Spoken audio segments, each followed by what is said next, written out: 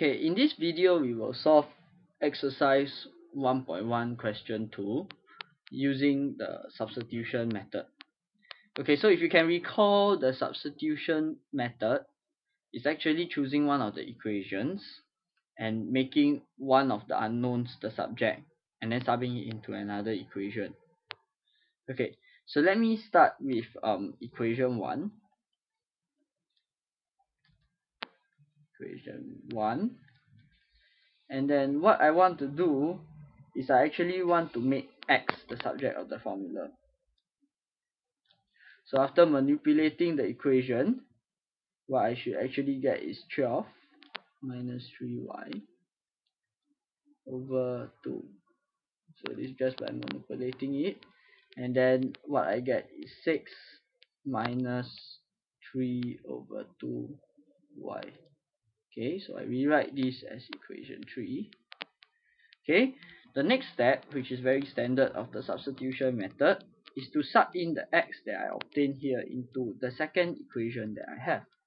So 3 now x is we know we return into 3 so 6 minus 3 over 2y plus 4y equals to 1 okay? And we actually got this from 2 and 3 okay?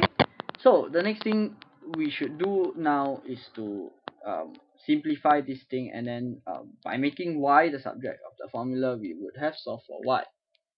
Okay? So just let me do this.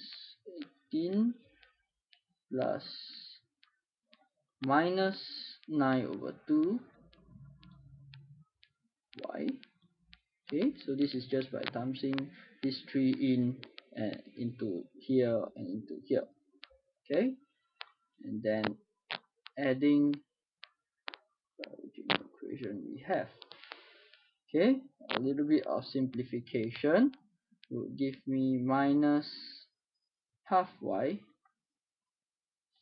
equals to minus 17 okay.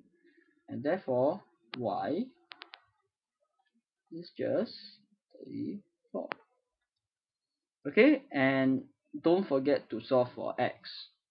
Um, students tend to forget to solve for x. So let's just put it into this equation which we have one of the easier equation.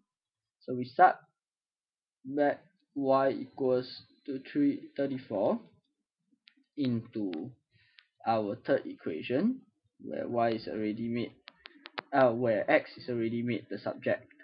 Okay? So what we have is x is equals to 6 minus 3 over 2 y. So this is from 3 from 3 and then equals to 6 minus 3 over 2 now y we know that it's 34